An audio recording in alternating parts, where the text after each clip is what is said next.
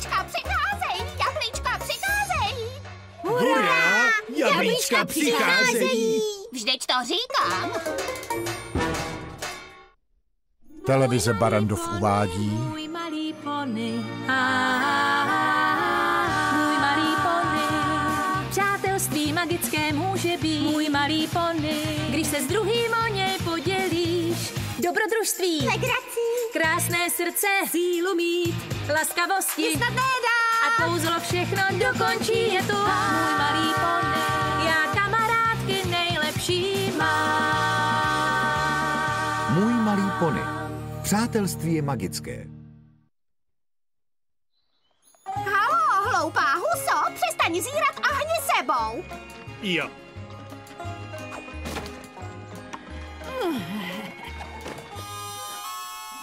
Připravená, babi.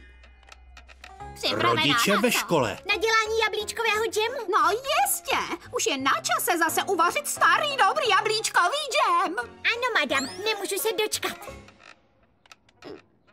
Dočkat čeho? Až s tebou budu vařit jablečný džem. Samozřejmě, dělám ho už od doby, kdy jsem byla malým poníkem. Ale chci tě varovat, miláčku, je tam spousta kroků a každý z nich se dá zkazit. Musíš si dát pozor a všechno udělat dobře, jinak džem nebude.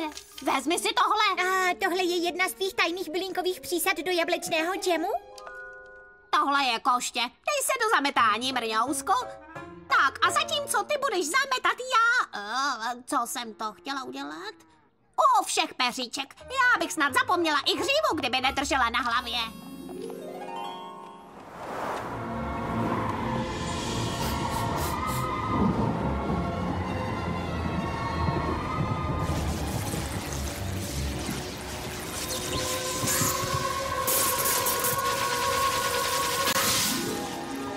Jsou tu jabloňové listy a přesně na čas. A, B, C, D, E, F, G, H, I, J, K, L, M, N, O, P. O, zdravím vás, Filty Riči. Zdravím, paní Smisová. Slyšel jsem správně, že už za pár dní budete sklízet ty jablíčka? Ano, přesně za čtyři dny. Skvělá zpráva. A jako obvykle můžu mít vašich prvních sto sklenic? Ale jistě, Filty. O, dám přednost Ričovi. Jak se má tatínek? Ach, ty můj malý chudáčku. Musíš s babičkou vařit všechny ten jablečný džem, viď? Víš, já se vlastně už roky těším, že jednou budu dělat džem. Já nemluvím o džemu, já mluvím o babičce Smysové. Musí to pro tebe být tak trapné. Halo, kde jste? E, co tím myslíš? Vždyť víš, ty hlouposti, co dělá, jak zapomíná věci a nutí tě nosit tyhle směšné kostýmy. Babička říkala, že voda musí... Díky bohu, že jsi tady na farmě a ne ve městě, tam by tě každý poník viděl. Ale neboj, já tvé tajemství neprozradím. Hlouposti? Díky moc, Filty.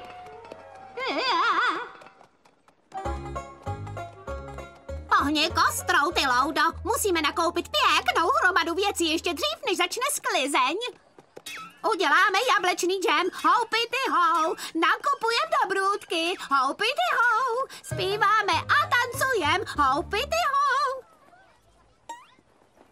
Nejsou takové, jako bývaly. Kousla jste si? Tak to kupte.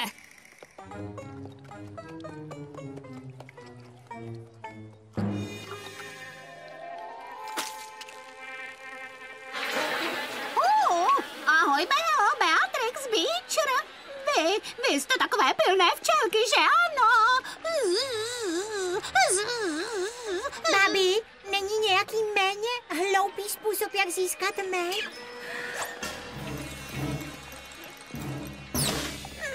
No, páni, není to skvostné. Prosím, A přestaň. na náš jablečný džem je to přímo dokonalé, Apple Bloom. Št, přestaň už, babi. babi, prosím, vidíš ty podniky tamhle? Dívají se. Co? Ty klisničky jsou tvé kamarádky? Ahoj, malé kamarádky. Zdravíme vás, babi Smysová. Máte se? Jako pane maminky. To za mých mladých let poníci takhle hezcí rozhodně Už nebyli. máme nakoupeno, babi, protože bych se chtěla vrátit na farmu rychle. Máme všechno, broučku. Už med máme houpy hou, už med máme houpy hou, už med máme dudli du. Ovládnutím velkou obchodu nákupu materiálu ve velkém a snížením veškerých našich cen jsme zničili všechny ostatní obchody s dárky. A tak se jednoduše naše firma Richův výhodný nákup stala hlavním obchodem v celém Ponyvillu. Děkujeme vám, pane Filty.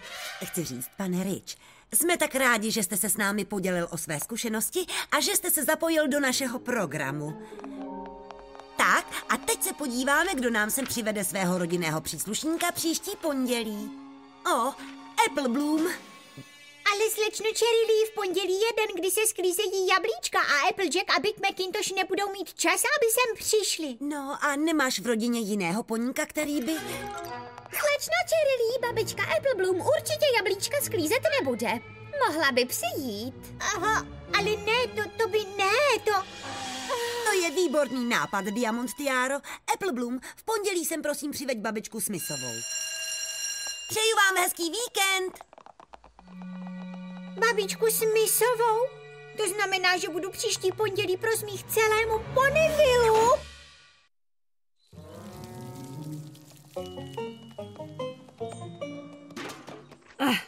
Je mi líto, Apple Bloom. Vždyť už jsem ti říkala, že si nemůžeme udělat volno v době sklizně. Víš, co se stane? Já vím. Po pátém dnu všechna kouzelná jablíčka zmizí.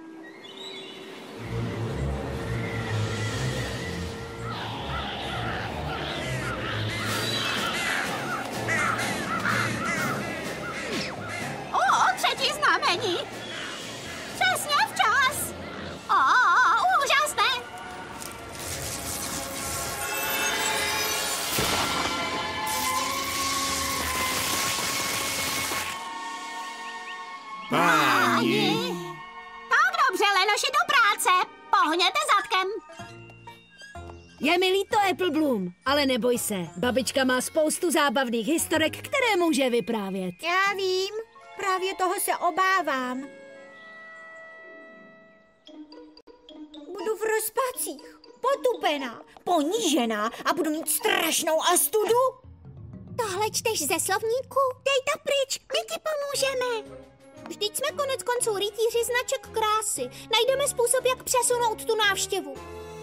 Ale jak? Já z těch starostí snad onemocním. Nemoc? To je ono. Pojďte. Pozor! Teď všichni poslouchejte. Nebudu tolerovat někoho, kdo bude kňučet, brečet nebo se pod tlakem zlomí. Vyjádřila jsem se jasně?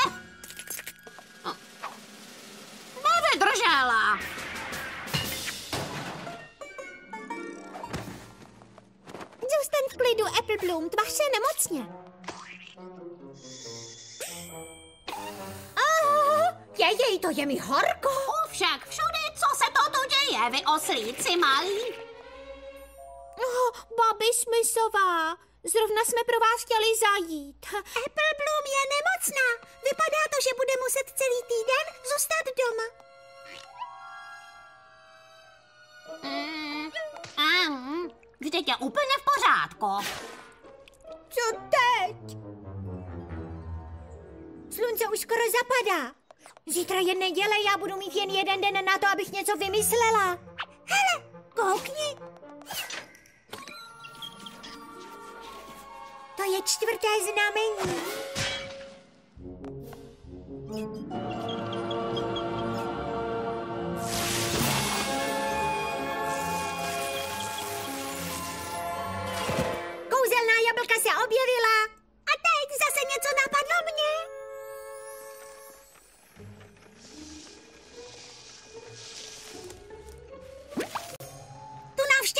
přesunout nemůžeme. Pojďme posunout místo toho den sklizně.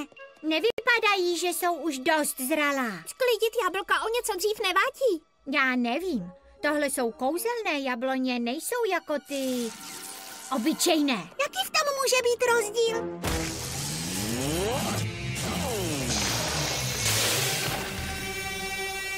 Když je nemůžeme setřást, pojďme je otrhat. Uh,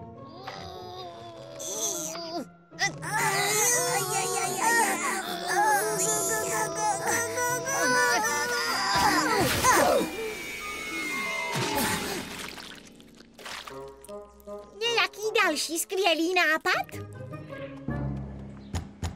Babičko Smisová, tady Cherry Apple mi říkala, že se mnou chcete mluvit. Halo? Paní Smi... Halo, zdravím, jak pak se máte? Uh, dobrý den, paní Smisová. Je všechno v pořádku? Jistě, že ano. Co pak by nemělo být?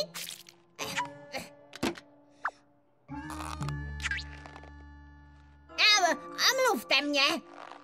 Po naložené zelenině mám vždycky škytavku. Musím vám bohužel říct, že nakonec v pondělí do školy přijít nemůžu. Ale ne, opravdu? Naprosto vážně. Musím ostříhat květiny a zalít ovce. Tedy chci říct, že musím zalít květiny a ostříhat ovce. O, to je ale škoda. Můžeme to přeložit. Co, cože, kde to jsem? Zdravím vás, slečno Čerily. Okukujete to tu? Ale ne, vy jste mě požádala, abych se tu stavila a řekla jste mi právě, že v pondělí nemůžete přijít do školy. Ale hloupost, takovou příležitost bych si nikdy nenechala ujít. Co pak jste zrovna neříkala? Uvidíme se v pondělí. Hmm, nemůžu uvěřit tomu, že se probudila ze zdřímnutí. To se přece ještě nikdy nestalo. Kež bych mohla utéct a někde se schovat. No, ty sice utéct nemůžeš, ale někdo jiný by určitě mohl.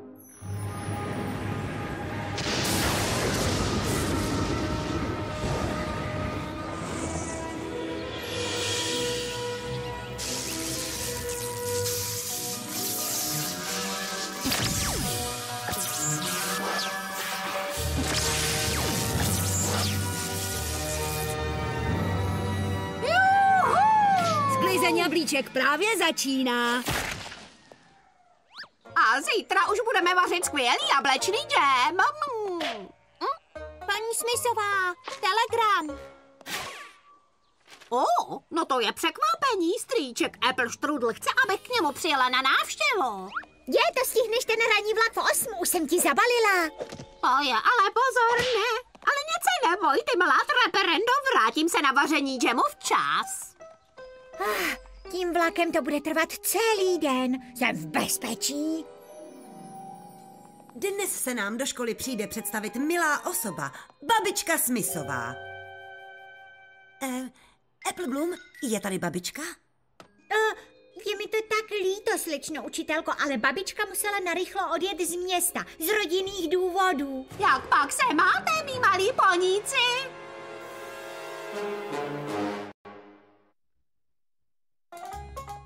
Všechny vás zdravím, jsem šťastná jako blecha, že tu s vámi můžu být. Co, co tady děláš, babi? Tobě ujel vlak? Kde pak? Vlak tam byl a byl v něm i tady strýček Apple Strudel.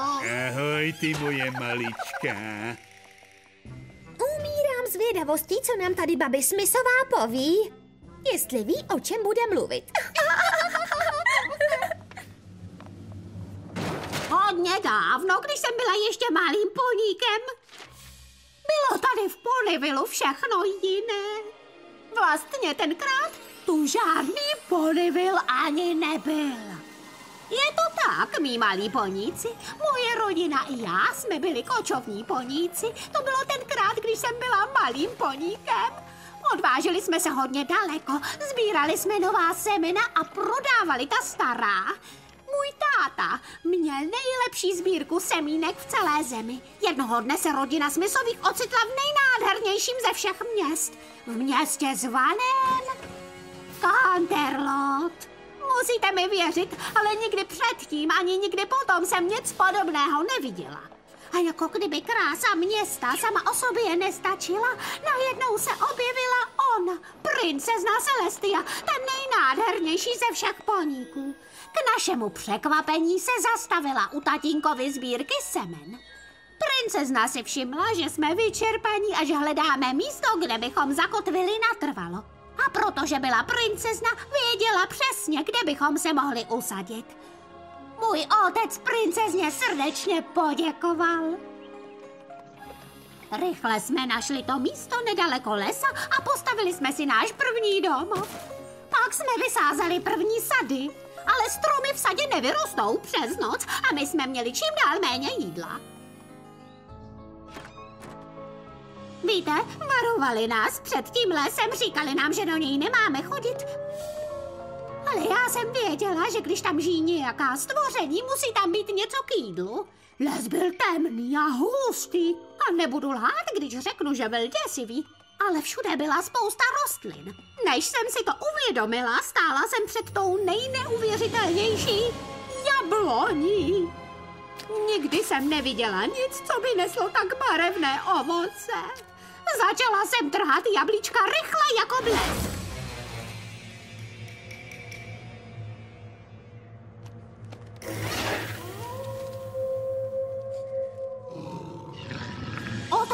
Jsem se a přede mnou stály.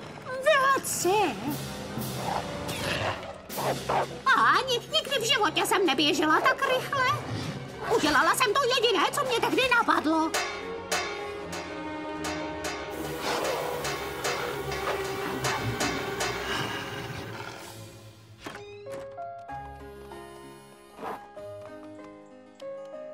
Pak jsme s tátou ta zvláštní semínka zasadili a stromy nám rostly přímo před očima. Byly úplně vzrostlé dřív, než bys řekl švec. Každý rok jsem dávala dobrý pozor, abych poznala, kdy je čas na sklizeň, že počasí ovlivňuje les, že vlci ví, když jablíčka začínají růst a že zmizí, když je nesklidíte během jednoho dne. A plody naší práce, to bylo to nejlepší ovoce, které jsme kdy ochutnali. Brzy jsem začala míchat první jablečný džem, ale stejně jako má sklizeň kouzelných jablíček svá pravidla, má svá pravidla i příprava džemu.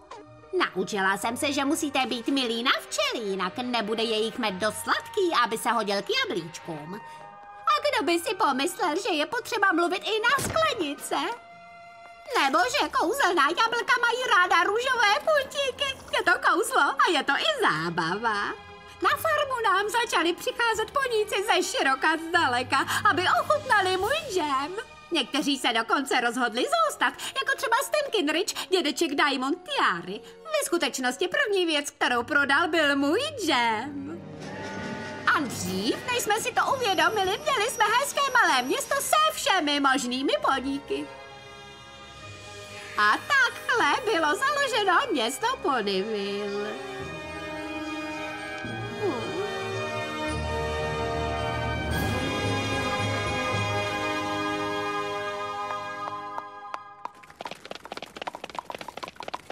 Moc vám děkuji, malí poníci. No tak, no tak, teď se uklidníme. Kdyby nebylo vás a kouzelných jablíček, tak by Ponyville neexistoval? Přesně tak, malička. Kdyby nebylo mojí babičky, tak by tvůj táta nikdy neměl svůj výhodný nákup. Ano, ano, to je pravda. Jo, jo, jo, ale, ale... Ale vždyť ona je jen stará praštěná dáma. Ona není stará praštěná dáma. Ona je nejúžasnější poník v celém našem Ponyvillu.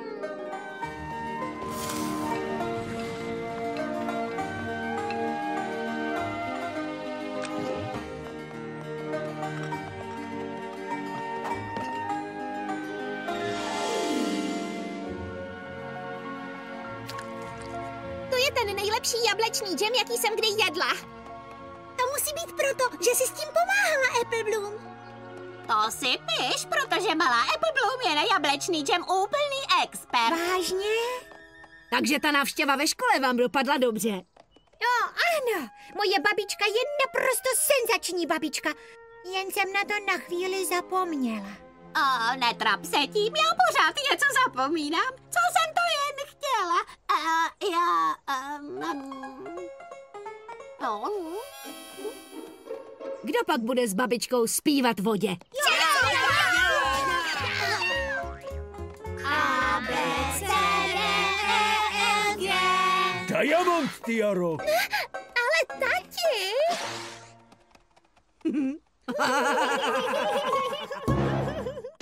Na českém znění spolupracovali Radka Stupková, Zuzana Hykišová, Jana Mařasová, Irena Hrubá, Šárka Vondrová, Helena Brabcová, Ivana Korolová, Miriam Chytilová, Kateřina Březinová, Radovan Vaculík, Jakub Sajc a další.